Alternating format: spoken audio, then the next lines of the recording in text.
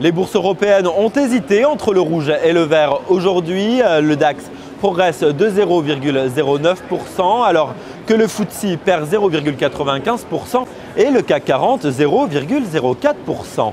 La BCE a adjugé pour 529,5 milliards d'euros aujourd'hui. Cette deuxième opération de refinancement à 3 ans à taux réduit a été considérée comme un succès. Pas moins de 800 établissements bancaires en ont profité.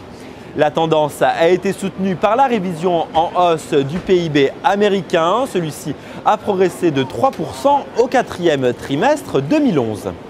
Du côté des valeurs, les banques s'inscrivent dans le vert aujourd'hui. La BNP Paribas gagne 0,05%, le Crédit Agricole 2,23% et la Société Générale 0,29%. Des grandes valeurs cycliques sont elles aussi bien orientées. Alstom prend 0,92%, Saint-Gobain 0,41% et Lafarge 0,39%.